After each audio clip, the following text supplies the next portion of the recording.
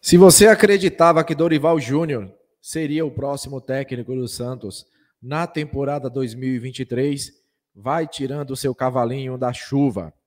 Dorival Júnior é o novo técnico do São Paulo, então é pouco provável que ele assumirá o Santos nesta temporada de 2023. Essa era a vontade de muitos torcedores, né? Ter Dorival Júnior como novo técnico do Peixão, tá, pessoal? Diante das más atuações do Santos com Odair Helman como técnico, tá, pessoal?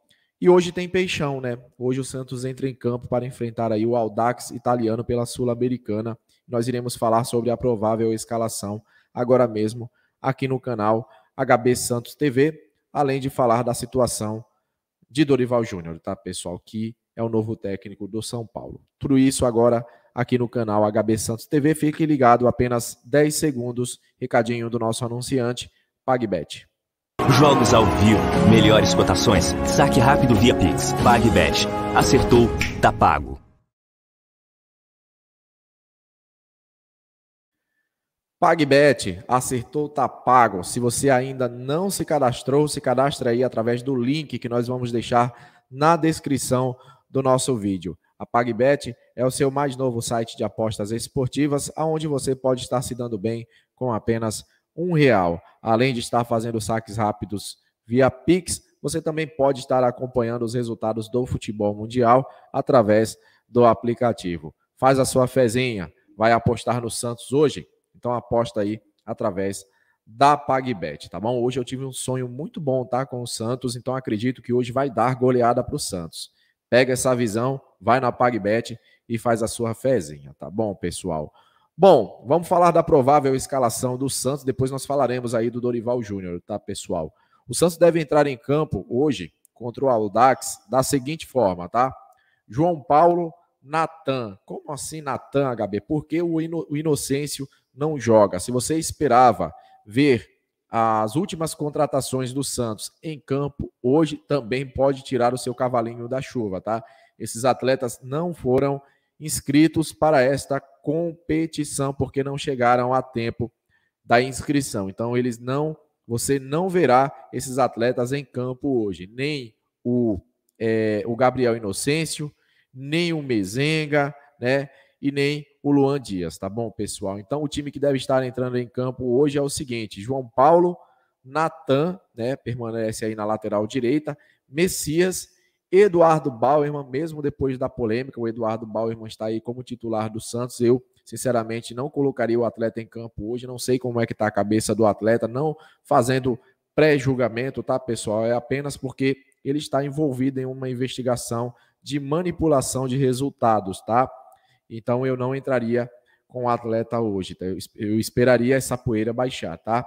Na lateral esquerda, Felipe Jonathan. Na volância, Rodrigo Fernandes ou Camacho. Sim, é verdade. Existe a possibilidade do Camacho entrar como titular, tá? Dodge e Lucas Lima. Ângelo ou Daniel Ruiz, tá? No ataque, Soteudo e Marcos Leonardo. Esta é a provável escalação do Santos para enfrentar o Audax italiano, tá, pessoal? Talvez este jogo contra o Grêmio tenha sido a virada de chave do Santos. Então, hoje nós iremos tirar a prova dos nove, dos nove, né? Do nove, né? Na realidade, é, diante da equipe do Audax italiano. Eu espero que hoje o Santos entre se impondo dentro de casa, o Santos meta uma goleada neste time para ganhar confiança aí para o campeonato brasileiro, tá bom, pessoal? Então, essa é a minha expectativa.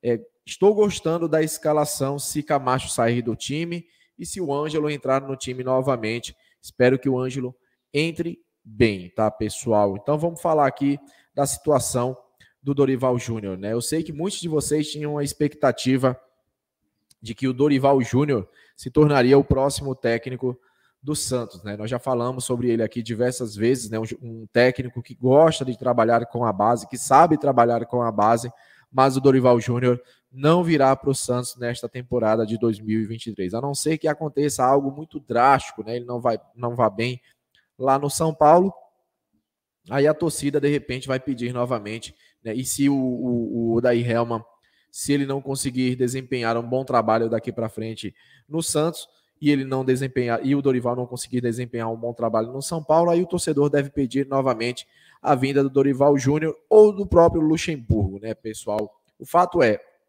Dorival agora é o novo técnico do São Paulo, tá? O Odair Helman, ele acumulou resultados ruins, né, nesta temporada de 2023, mas espero que a recuperação dele seja, né, hoje contra o Audax, né? Já foi contra o Grêmio, né? Apesar da derrota, o Santos ter perdido para o Grêmio, mas eu acho que o Grêmio, o, contra o Grêmio, o Santos conseguiu apresentar um bom futebol. Nós não merecíamos a derrota. Infelizmente, por falhas individuais, nós perdemos, né? Espero que contra o Audax seja diferente, que o Odair tenha estudado aí o nosso adversário e possa conquistar esta vitória, onde o Santos se tornaria líder né, do grupo e se tornando líder do grupo, né? Chance do Santos se classificar para a próxima fase aí da Sul-Americana. Eu falei para vocês no início do ano que eu vi aí duas competições interessantes para o Santos tentar a conquista na temporada de 2023. E para mim são essas competições. A Sul-Americana é uma delas e a outra seria a Copa do Brasil. No Brasileiro, o Santos estando classificado ali entre os sete primeiros, oito primeiros, né, buscando a classificação para uma pré ou Libertadores da América, para mim também tá de bom tamanho, tá bom? Hoje o Santos entra em campo, espera uma vitória, o meu placar é 3 a 1 para o Peixão, né? E vamos que vamos, né? Após a partida, estaremos aqui de volta para falar sobre tudo o que aconteceu em campo entre Santos e Audax italiano. Hoje a obrigação de vitória é do Peixão, tá bom, pessoal? Deixa nos comentários o que você pensa aí sobre a provável escalação, né? E também o que você acha que vai acontecer na partida hoje deixa nos comentários. Se você não apostou ainda na PagBet, aposta aí, faz a sua fezinha, porque hoje vai dar peixão. Valeu, espero que vocês tenham gostado. Um forte abraço, fiquem com Deus e até a próxima. Tchau, tchau. Fui.